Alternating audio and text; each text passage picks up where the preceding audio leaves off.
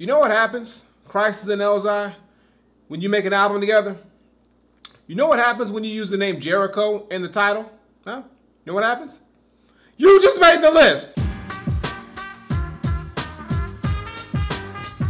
What's going on, everybody? It's the Granddad of Granddad Woolly, and you are here again for another edition of Woolly Reviews Hip Hop Data. We got an album review today. We're gonna talk about the brand new album that just fucking dropped. Well, it didn't just fucking drop. It's been a few days. I was a little late on the shit. I've been busy, y'all. I've been doing a lot of shit, a lot of good shit, but doing a lot of shit. But I told y'all I got y'all on this joint. I've been waiting for this to drop ever since it's announced, and now it's finally here. It's on that collabo thing. You know that's a big thing this year with the collabs and shit, and this is the first big one that we getting. So let's talk about it. These motherfuckers are back. They dropped the new shit. They own some Jericho Jackson shit. Who the fuck is that? Is that like a lost member of the Jackson 5 that just didn't make it or wanted to rap? I don't fucking know. You gonna have to look that nigga up or they just make him up. I don't fuck.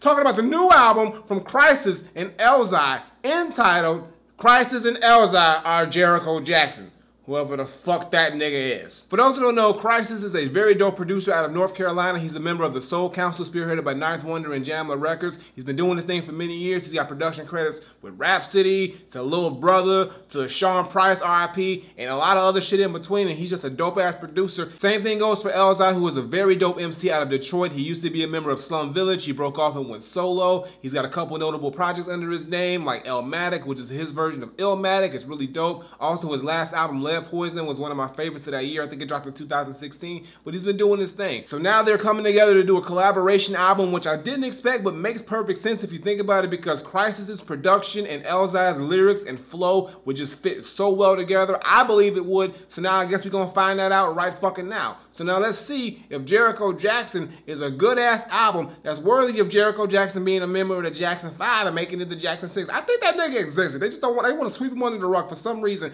Thank you, for bringing him to the light. Because I think he's a real motherfucker. Maybe not. Maybe not. Or will this album just be as whack and as obscure as this motherfucker here? Because nobody knows who the fuck he is because he's probably whack as shit. We gonna see. We gonna fucking see.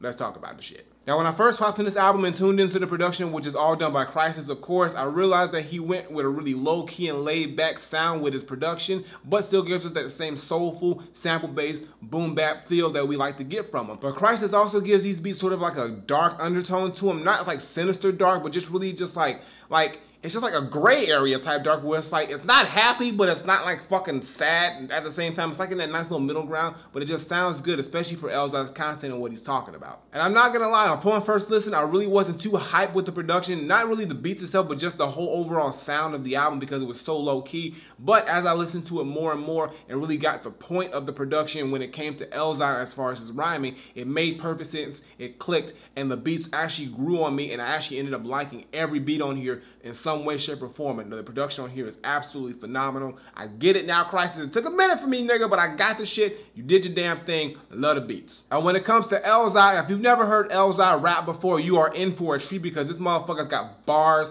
he's got wordplay, he's got storytelling ability. He's the total package when it comes to being an MC. And on here, he is not skipping on any of that. He has got bar after bar, line after line, just concept after concept, but also he's really talking about himself, a lot of self-reflection on here. And with Lead Poison, he really he was going through his depressive state, and on this album, he seems to be coming out of that a little bit in a way, but still has those lingering moments on songs like Overthink or Listen or Friends, but then he has really cool conceptual songs like Cuffing Season, which ain't about relationships, it's about the cops cuffing niggas all day, every day. It ain't just one season, Elzhi, it's all year, you know that shit, nigga and also songs like 17, as well as others. And there's a lot of great moments on this album, and every song on here has its own character, its own personality, has something that you can take away from it, but at the same time, you can tell it always has a little piece of Elzhi within himself in the song, which I think is really dope. And the album itself isn't very long. It's only 38 minutes long, and there's really no features on here except for Amber Navron. Am I saying your name right? Navran? I think it's Amber Navran. I hope I'm not fucking your name up because you can sing your ass off. I love your voice.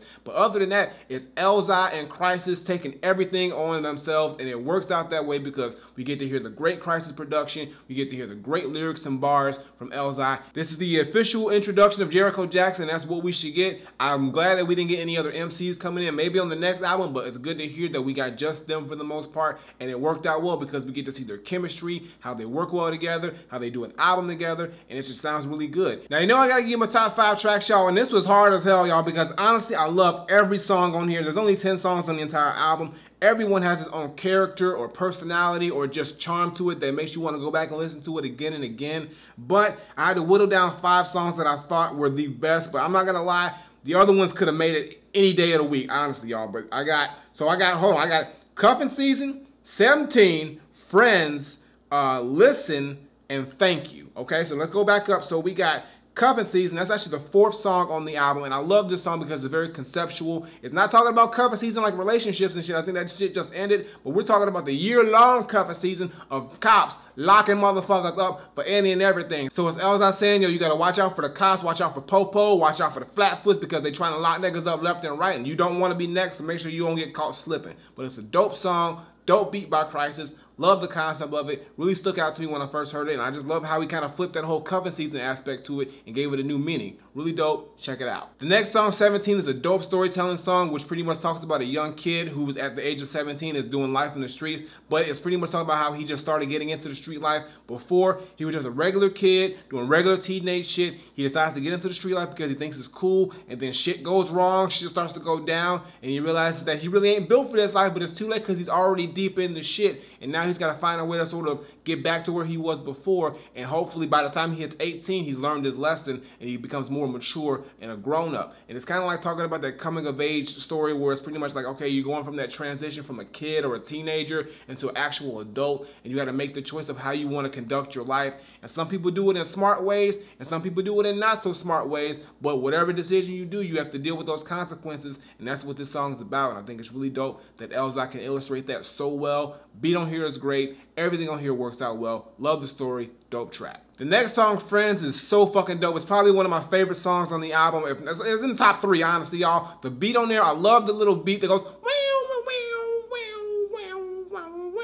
That's just so fucking dope, Khrysis shit. And when it comes to Elzhi, the way that he flipped the whole friend aspect, even he made the fucking word an acronym of fake relationships involving enemies needing disguises. Shit, that's fucking dope, Elzhi. And then he's just talking about how he needs real friends. Like he needs a friend to be there not only when he's at the height of the heights, but also when he's at the lowest of lows. And he just knows that some people, some so-called friends aren't gonna be there if it's not convenient for them, which is kind of fucked up, but it's actually kind of true because it happens all the time in real life. So it's a dope song. Another song where Elzhi's pretty much being more personal with himself, but also a song that he's pretty much saying, yo, he needs fucking friends. Like, I'll be your friend, Elzhi. Shit, I mean, what I gotta do? Can we get on a song together? Do an album? I don't know. What's the prerequisites?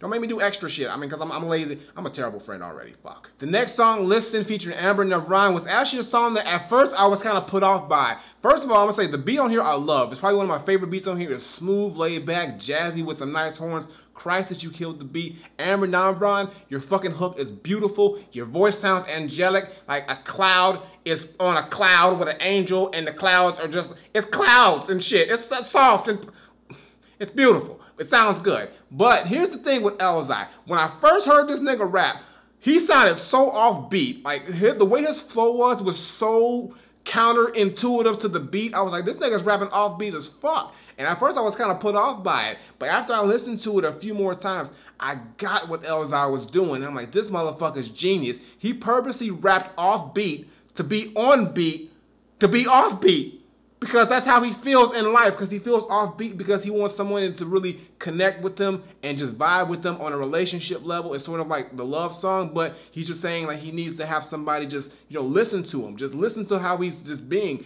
And i think that's what it was. I may be overthinking the shit haha pun intended but i'm just saying it's a dope song. And the fact that he was able to just rap off beat but still be on beat and then kind of pick it up at the second half of the verse really dope. I love it Check it out. And the last song, Thank You, which is pretty much the last song on the album, is really just Elzhi saying thank you to everybody who stuck with them through the ups and the downs, to the good and the bad, from personal people to the fans and everything in between. And it's just pretty much I'm just saying like, yo, I know it's been some shit. I know I've been through some things. I know I've kind of like let y'all down here and there maybe, but I want you to know that I do appreciate you. I don't want to say thank you, and I'm going to continue to keep persevering and keep going and make things better and better. And Jericho Jackson is the first step to that. And we appreciate that, Elzhi, because you gave us a great album. You worked it with a great producer, and it gave us a great result. And I just, I mean, I can't wait to hear more. So thank Thank you, nigga. Thank you. And that's my top five, y'all. But honestly, y'all, this album is fucking fantastic. Every song on here is worth mentioning. I wish I could just, you know, give it a top. I could have gave it a top 10, but I've been here all day talking about it.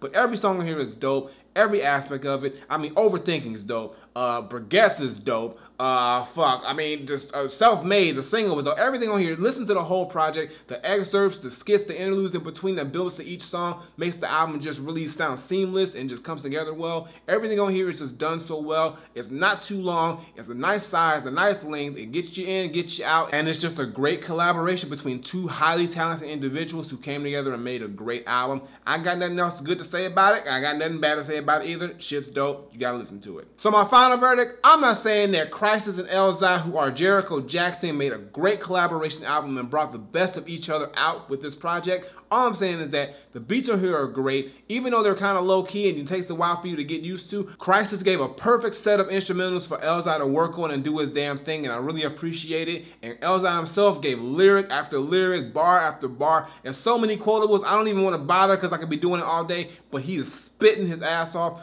great storytelling, great concepts, and it just sounds great, and everything on here is just on point. I mean, it's just good. It's a fucking good ass album, a great ass album, and you gotta listen to this shit right now if you're a fan of either one, or if you've never heard of either of these guys, check this out. You will be a fan, definitely. But all I gotta say is that for me, Khrysis and Elzhi, who are Jericho Jackson, is 100% granddad approved. Go listen to this album, support this album, cop it, listen to it 150 times at least because you will just get more and more out of it as you listen to it and I just can't wait to hear it more and I can't wait to hear Jericho Jackson too because I know it's going to be that fire. But I got nothing more to say. Khrysis, Elzhi, Jericho Jackson is granddad approved so go listen to the shit right fucking now.